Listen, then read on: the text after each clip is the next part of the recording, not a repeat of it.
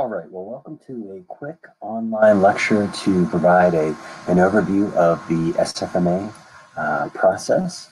Uh, I am certified in this method and it's a system that I think has a lot of value and a lot of usefulness.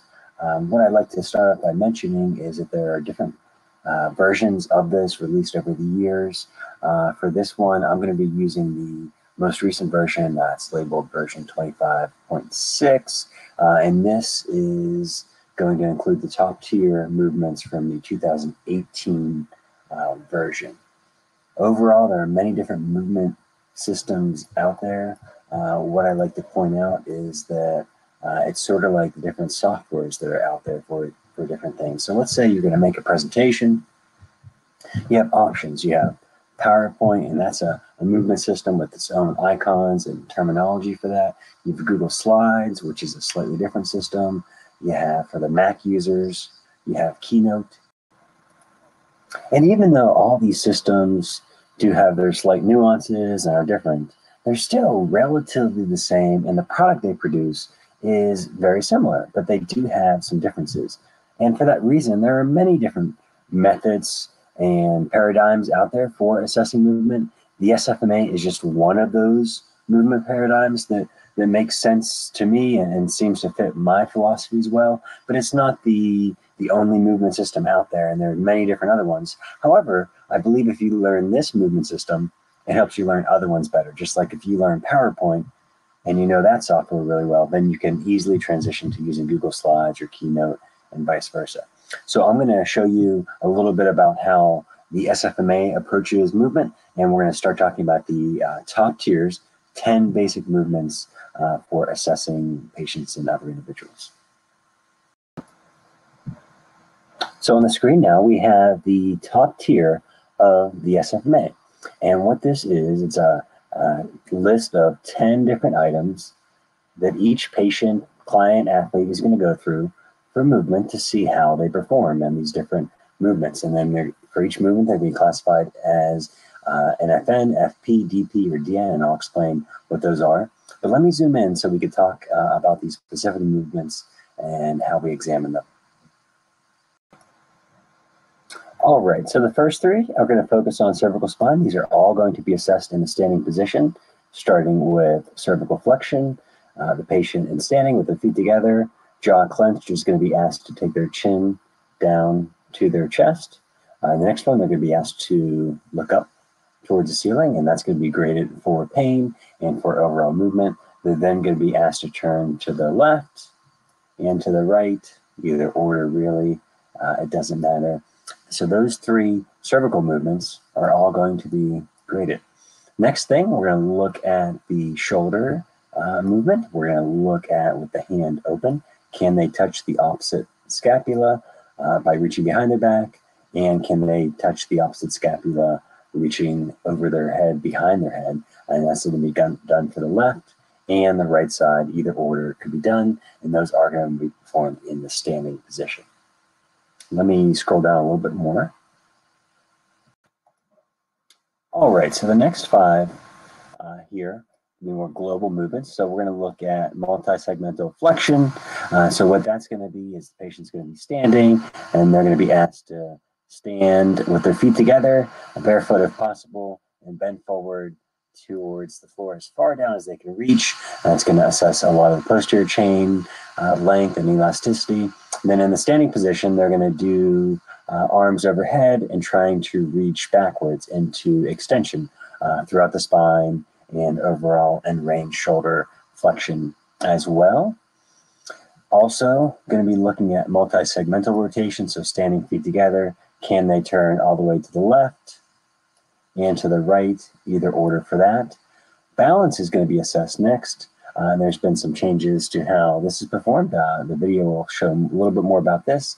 And then with the last version, there was some debate about this one, but they did change the overhead squat now to uh, arms down deep squat. So it used to be the feet were separated, but now you can see the feet are together and they're doing a deep squat, uh, arms down to the sides. And those are the 10 different uh, movements as part of the top 10 or the, uh, the 10 tiered movements. So now that we've gone over the 10 movements, let's talk about one of the keys to grading these is going to be by placing them into the different categories. So when someone's asked to do these movements, one of the first things they can do is be able to perform that functionally without any pain. And that's the ideal response you would like for all of these. If that's the category, they would be placed as a functional non-painful or an FN. You'll see that's designated as red, which basically means that's good. You can stop. You don't have to further explore that. They don't have any pain and they have full function, so that is a good sign. So even though red sometimes means not good things, in this case it means don't explore that any further. Let's look at the other categories between the FPs, DPs, and DNs. So for the next category, what is functional painful? So they could be functional, which means they have full range of motion. However, the movement pattern is painful. So that would be your FP, uh, which is similar to your DP, and that, that's another scenario where they do have pain. However, this time it's dysfunctional, meaning they don't have the full range of motion or they perform it with abnormal mechanics or altered rhythm in some way. So that would be your DP and FPs right there. And then you have your last category, your DNs. And so this means they are dysfunctional and that they don't have the full range of motion or normal mechanics as they do this. However, they are non-painful. And so this is your D, and and this one, you'll notice is in green, uh, which means this needs further explored. Uh, so this is a really important category to pay attention to.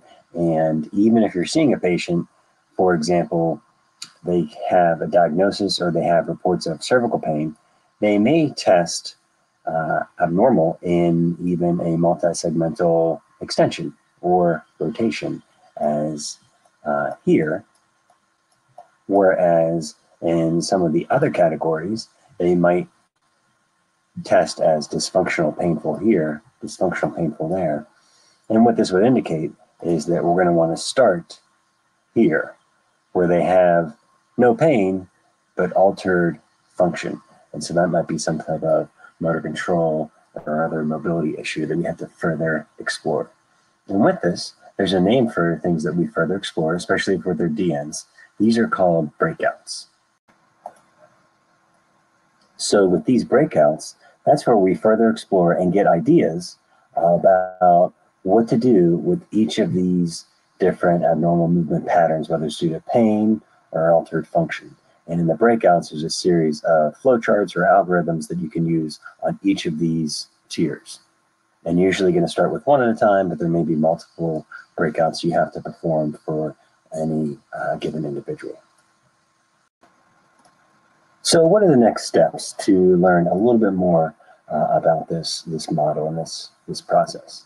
Uh, well, one thing uh, you can do next is there's a uh, summary uh, guide that contains both the SFMA and FMS.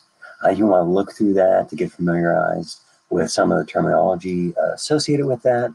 And then also there is the 2018 version of the SFMA manual, and you'll see the, the breakouts are, are listed on there and um, some of the terminologies uh, and special testing and other things are located uh, within uh, this manual, as well as the functionalmovement.com website. They also have some blog articles, videos, and other things that are really good just to get an overview of what the FMS and SFMA systems are all about.